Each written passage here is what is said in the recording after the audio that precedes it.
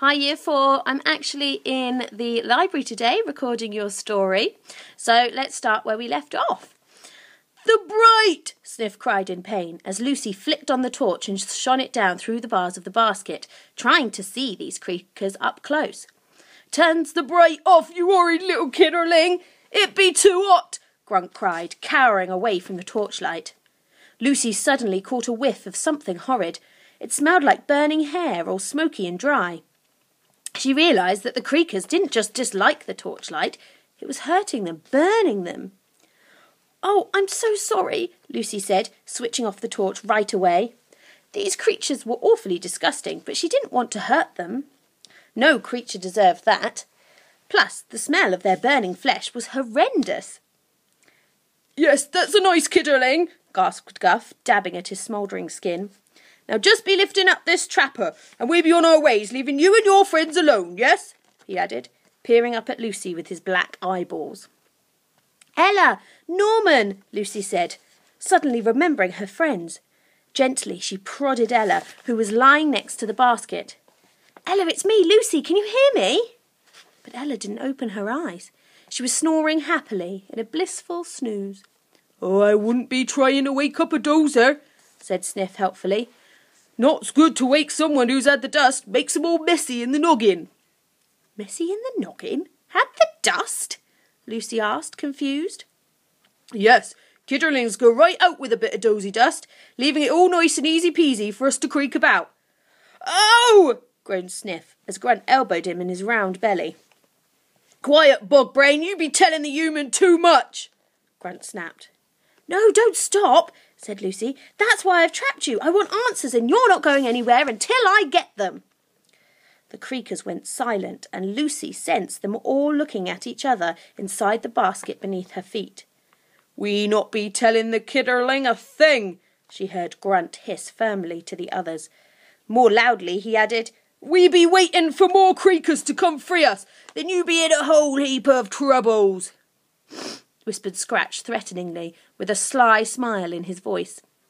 What other creakers? said Guff curiously, rubbing his cannonball tummy.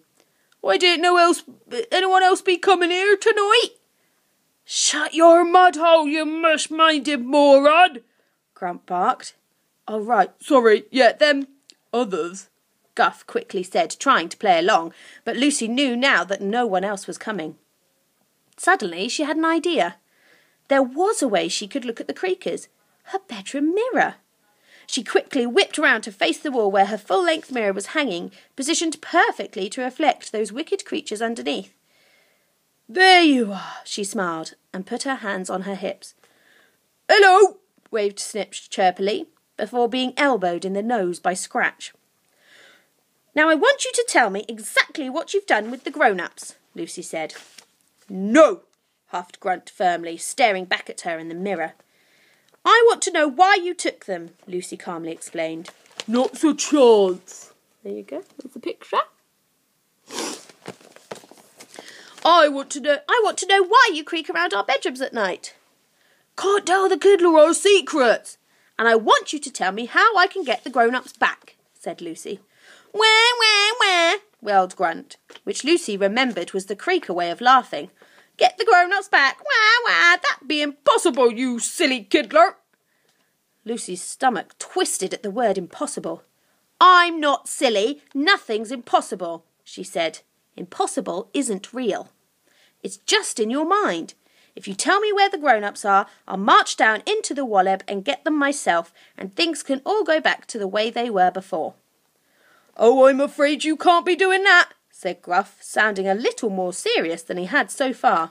You see, Kiddling, your grown-ups aren't quite the same as you remember 'em. The creaker started giggling, which sounded more like the way you gargle when you brush your teeth. What? What? What do you mean? Lucy stared, starting to get a little panicked. What have you done to them? We? said Scratch. Not we. Not us little creakers. Not Grunt, Guff, Scratch and Sniff. We's be good little creakers. We not hurting your grown-ups, jumped in Sniff. Then who? asked Lucy, her mind racing to work out this riddle. It be the Wolleb, said Grunt darkly.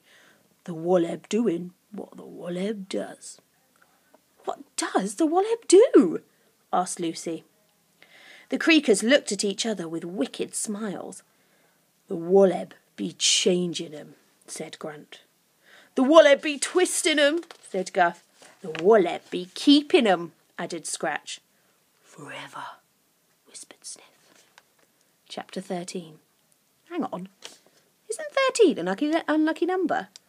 Feels a little bit reckless to be writing a book about creepy creatures that live under your bed and then just whack in an unlucky chapter number like it's no big deal.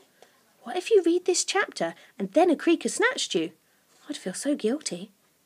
Should we skip straight to chapter 14? I think it's probably wise.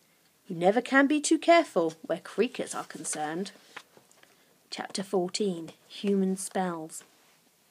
Lucy couldn't hold it together any longer. She'd been staying strong ever since the day it all began. She'd already lost her dad. Now, hearing these creatures say that she might never get her mum back too was just too much. So Lucy did the only thing a person can do when there's nothing more a person can do. She had a good old cry. She howled and wailed, sitting on top of the washing basket with the four hideous creakers trapped underneath, listening to her sobs. The tears started filling up the insides of her swimming goggles, but she didn't dare take them off. She definitely didn't trust the creakers. What's the kidder doing? said Scratch. What a rotten noise! said Sniff, plugging his floppy ears with his long fingers. I'm crying, you horrid things! Lucy sobbed. Crying? What's, what is crying? Sniff asked and out of the corner of her teary eyes, Lucy could see all four creakers peering up at her through the bars of the washing basket. Haven't you anyone seen anyone cry before? Lucy sniffed. No, the creakers said together. We be creaking when we when kidder, kidders are a snoozing. We never seen a crying human befores, explained Grunt. Lucy wiped away the tears that trickled down her cheeks and sniffed up a sob. Well, crying is what you do when you're really, really sad about something, she said. Crying is bad? Guff asked eagerly. Us creakers usually be lighting the bad stuff. Actually, my dad used to say that crying is a good thing. It's when all the sad stuff inside your mind builds up so much that it starts to leak out of your eyes. It's good to let it out, said Lucy. The creakers went quiet beneath her like they were really thinking about what she'd just said. Sometimes I think I might have too much bad stuff inside my noggin. Oh, sorry. Sometimes I think I might have too much bad stuff inside my noggin, admitted Scratch, peeling a bit of skin from his itchy scalp and popping it in his mouth. Ugh. Every night it's creaking here and creaking there, snatching grown ups one day, dozying kids the next. His voice started to sound rather strange, almost like he was trying not to laugh. I knows what you mean, said Sniff, who started giggling a little. All we'd be doing is the nasties night in and night out, agreed Guff. And with that, the three of them cracked up in fits of laughter. Lucy stared down at them. What horrible creatures, she thought, laughing at someone who's upset. But then she remembered that these creakers were from a backwards world, and that when they laughed, it actually sounded like crying. So did this mean that now they were laughing, they were actually upset? It was all very confusing and rather odd. Pull yourselves together, you twazzles, hissed Grunt. The kidderling be putting you under kiddling spells, making you all humany and wash-brained. Naughty human magic. He glared up at Lucy through the bars of the washing basket. I'm not putting them under spells, protested Lucy. I don't know any spells at all. Humans can't do magic. I just told you a story, that's all. Exactly. Stories are magic. They puts ideas in your noggin that weren't in there before. They makes you think all different about the world, barked Grunt grumpily, and the other creakers snapped out of Lucy's story spell and came back to their rotten senses. All of a sudden, something seemed to happen that made the creakers shift awkwardly. Their wrinkly ears pricked up like a cat hearing a mouse squeak. Then Lucy heard the church bell chime in the distance What time was it? Lucy started counting. It's getting early, Grunt said. The dark need be nearly over, said Guff. Let's be going back to the... began Scra- Scratch. Wolleb, finished Sniff. Nope, Lucy said, tightening the straps of her goggles. She sniffed she shifted around until she was comfortable on top of the basket and stared straight at them in the mirror.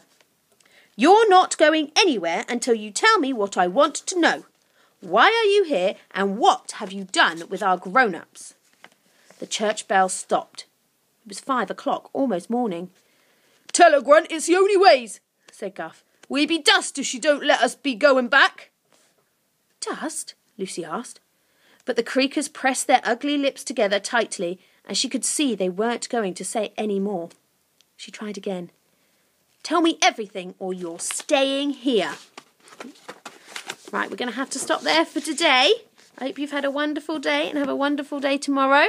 And um, stay safe and have fun. Bye bye.